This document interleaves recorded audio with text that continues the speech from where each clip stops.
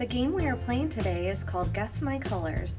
We will use playing cards to take data from a sample to make inferences about a larger population.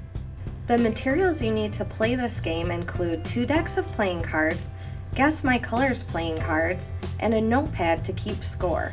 Remove the jokers from the first deck of cards.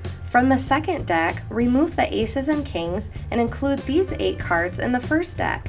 Now you have a deck with 60 cards, 30 of the cards are red and 30 of the cards are black. One player at a time has the deck. This person is the dealer. The others are called players. Players start with a set of three different Guess My Colors cards. Directions alternate between the dealer and the players. Dealer, begin by removing 20 red cards or 20 black cards, or 10 cards of each color. Put these off to the side face down without letting the other players see them. Flip 4 cards from the deck face up. Players, decide whether or not you are ready to make a guess about which cards the dealer removed. If you choose to guess now, place the proper Guess My Colors card face down in front of you. Once you make a guess, it is final for the round. Dealer, flip over four more cards. Players, you have another opportunity to guess here, but can choose to wait for one more round of four cards. Dealer, flip over four more cards for a total of 12 players. You must guess at this point if you have not already done so. Players, turn over your chosen Guess My Colors card to reveal your guess.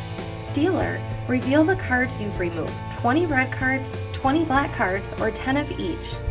Players are awarded points as follows. If you made a correct guess with 4 cards flipped up, you receive 3 points. If your guess was incorrect, you lose 3 points.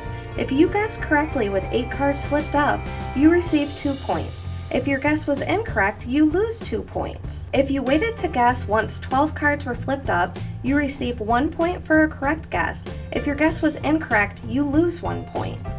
Follow-up conversations about how students thought about the data could benefit the whole group. Pause the video here to read our Think About It questions. A variation to Guess My Colors is to play with a smaller deck. Try using a deck that starts with 40 cards, 20 red and 20 black. Click on the instructions link on the Regional Math Science Center website to read the game rules or just rewatch this video, pausing as needed. Thanks for playing!